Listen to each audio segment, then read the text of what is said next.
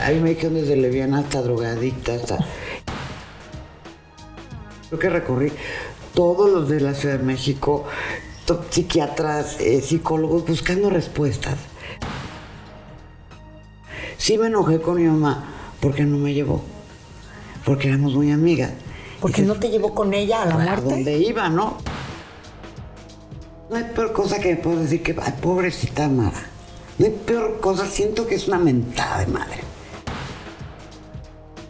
Cuando descubre reporteros que eh, lo que quieren es dañar, eh, porque me lo han hecho también. Yo sé.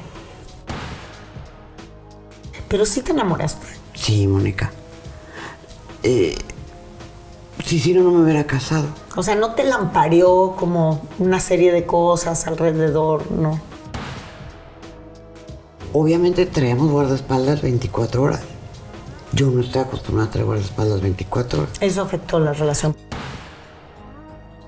No lloré por amor. Tampoco recibí un no te vayas. O sea, ya estaba hecho.